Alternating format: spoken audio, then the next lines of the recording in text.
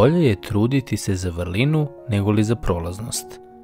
Kratkovremenost napora i večnost pobedničkih venaca, kao i činjenica da napori prethode vencima, a venci dolaze posle njih, sve to predstavlja najveću moguću utehu u naporima. Koliko je napora i znoja potrebno za stvari ovdašnjega sveta?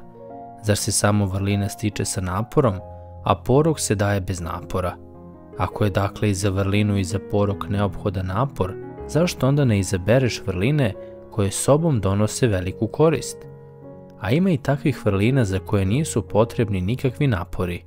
Kakav je trud potreban da ne govorimo ružne reči, da ne lažemo, da se ne zaklinjemo, da praštamo bližnjem koji nas je razgnevio. Potreban je napor i veliki trud da postupamo protivno ovome. Kakvo dakle opravdanje očekujemo kakav oproštaj, kada ne ispunjavamo ni ove lake vrline. Iz ovoga je potpuno jasno da su nam i one druge teže i najteže vrline nedostupne iz razloga našega nemara i lenjosti. Kratko je sadašnje vreme i trud je nevelik, ali čak i da je velik, ni u tom slučaju ne bi trebalo da ga se odreknemo. Ako se i ne trudiš na tom boljem poprištu, poprištu pokajanja i vrlina, treba da se trudiš i da trpiš nevolju u ovome svetu na neki drugačiji način.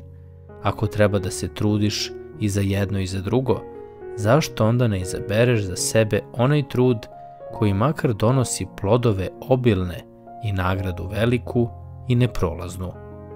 Pouke za svaki dan u godini Svetog Jovana Zlatoustog